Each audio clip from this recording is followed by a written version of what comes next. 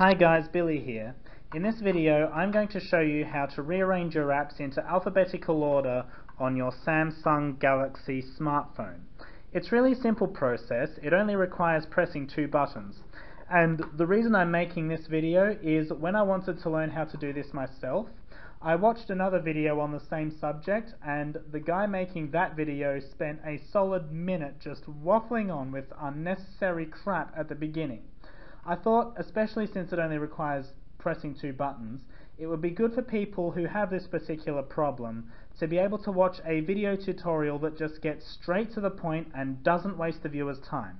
Because seriously, this guy, he started the video right by over-explaining the fact that his problem was that his apps weren't in alphabetical order. It's like, I get it, that's also the problem that I have, which is why I've clicked on the video. Can you please just get to the point? I just want my apps in alphabetical order. Who has time to sit through this? So what you do is, you bring up the apps like this, and this is the point in the video where the guy just banged on about how the apps aren't in any sort of order. He repeated himself and just said the same things over and over again. It was so redundant. Well, I promise this video won't be like that. It'll just get straight to the point. No pointless repetitions, no redundant anecdotes, just a simple how-to video about a smartphone. So what you do is, you press these three dots here like this, and then you press sort, and then you press alphabetical order, and it's done.